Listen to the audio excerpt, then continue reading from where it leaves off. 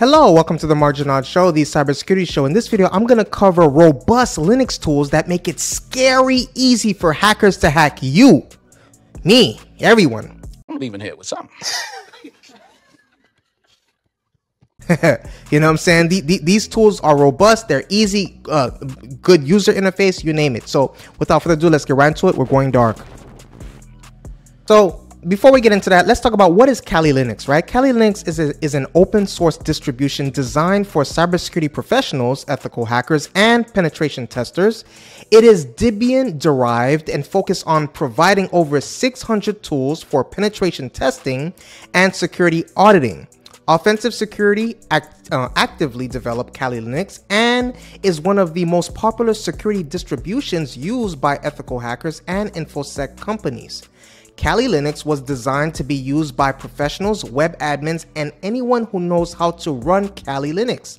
It was not designed for general use. So this is for hackers, penetration testers, people who want that smoke. You know what I'm saying? People who want that smoke. So Kali Linux has numerous security uh, hacker applications pre-installed for exploitation tools, forensic tools, hardware hacking, information gathering, password cracking, reverse engineering, wireless attacks, web applications, stress testing, sniffing and spoofing, uh, vulnerability analysis, and again, much, much more, right? Much, much more.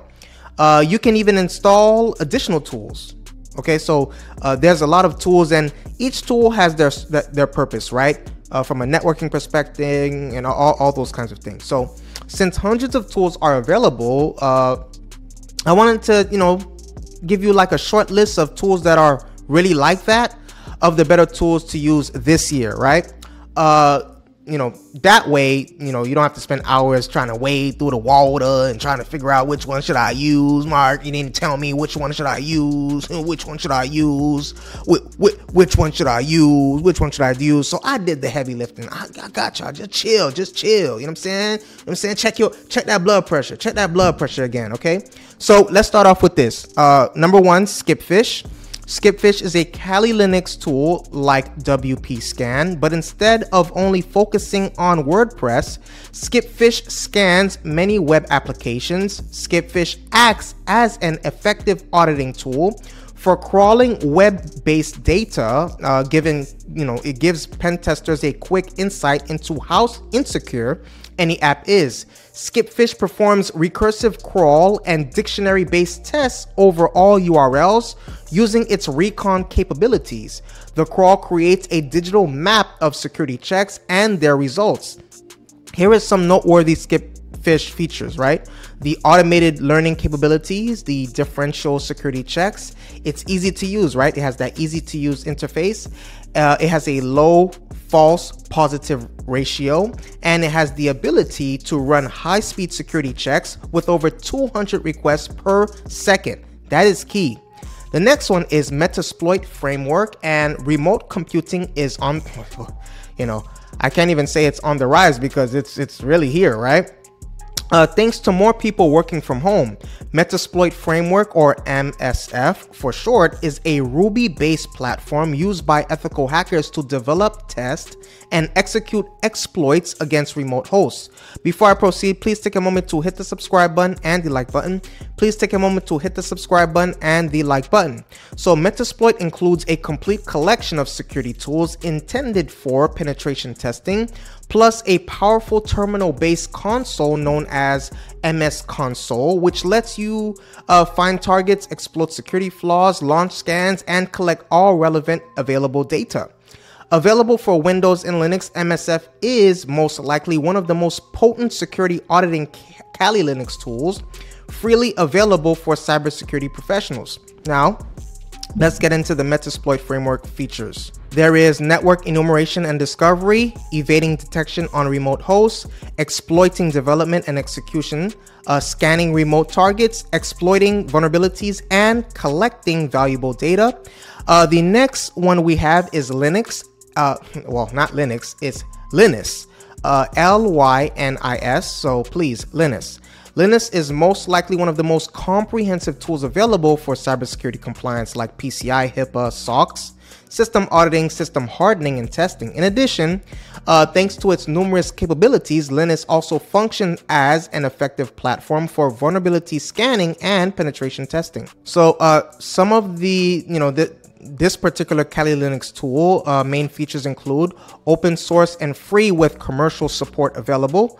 Uh, it also is uh, simple. It, has simple installation with, uh, you know, from the GitHub repository.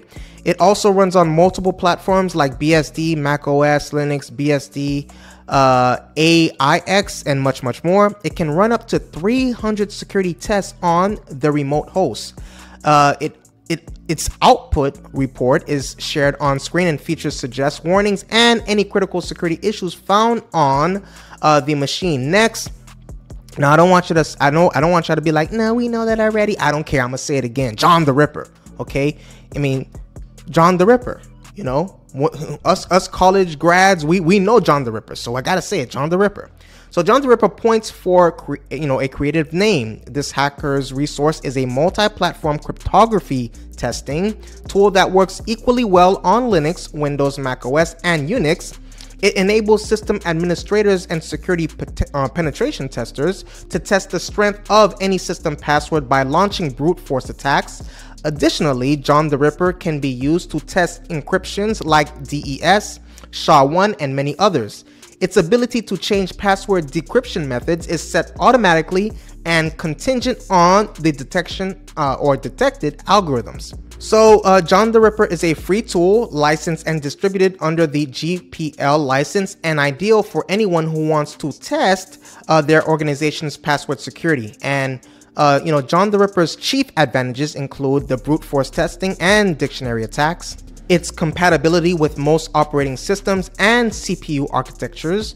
It runs automatically by using crons. Uh, it allows pause and resume options for any scan. It lets hackers define custom letters while building dictionary attack lists. It allows brute force customization rules. And the last one I have for you, the fifth one, is called Fluxion. Uh, and it is it's you know Wi-Fi is growing more popular each each and every year. We're becoming more and more you know dependent on it, right? Making it more attractive target uh, of opportunity for hackers. That's why pen testers must have the capacity to test Wi-Fi networks for security leaks. Fluxion is a Wi-Fi analyzer specializing in MITM WPA attacks and lets you scan wireless networks. Pen testers use Fluxion to search for security flaws in corporate and personal networks. However, unlike similar Wi-Fi cracking tools, Fluxion does not launch time-consuming brute force uh, cracking attempts. Uh, instead, uh, Fluxion creates an MDK3 process that forces all users on the targeted network to lose authentication or deauthenticate. Once this is accomplished, the user is prompted to connect to a false access point requiring entering the Wi-Fi password. Then the program reports the password to the pen tester to gain access. That's what I have for you today. Please take a moment to hit the subscribe button and the like button. Please take a moment to hit the subscribe button and the like button. I appreciate your viewership. Stay safe. See you in the next video.